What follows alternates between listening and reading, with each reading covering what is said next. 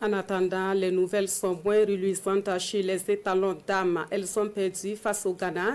Le match de la demi-finale du tournoi Ufouabe, l'équipe burkinabé a coulé par un score de 3 buts à 1 et devra donc jouer le match de classement contre la perdante de l'autre demi-finale qui oppose, opposera l'équipe du Nigeria à celle du Bénin. Le résumé du match avec nos envoyés spéciaux à Koumassi au Ghana, Manekayen et Ali Traori. Le Burkina Faso ne jouera pas la finale du tournoi IFOAB de la zone de l'Ouest des équipes nationales féminines des moins de 20 ans. La faute à une équipe ghanéenne poussée par son public qui va dominer cette rencontre, même si elle va d'abord encaisser le premier but à la cinquième minute. Florentine Djigem desservie après le festival de Adel Cabri réussit à donner l'avantage aux étalons filles.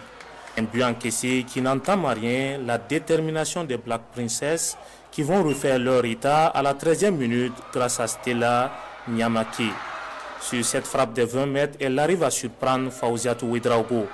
Les pendules sont à l'heure, les Ghanéennes passent à la vitesse supérieure et contraignent une fois de plus les Burkinabés à la faute. Success Amiya passait par là. 2 buts à 0 à la pause. À la seconde période, les vagues ghanéennes défèlent sur les positions burkinabè sans faire de dégâts. À la 77e minute, Adel Cabri est fauché dans la surface. Penalty pour le Burkina Faso encore raté par Alimata Belem. Les Black Princess profitent pour enfoncer le clou à la 83e minute par Faiza Seydou. 3 buts à 1 pour le Ghana qui file en finale. Les filles de Pascal Sawadogo, elles, vont se contenter de jouer pour la troisième place qui sera face au perdant du match beni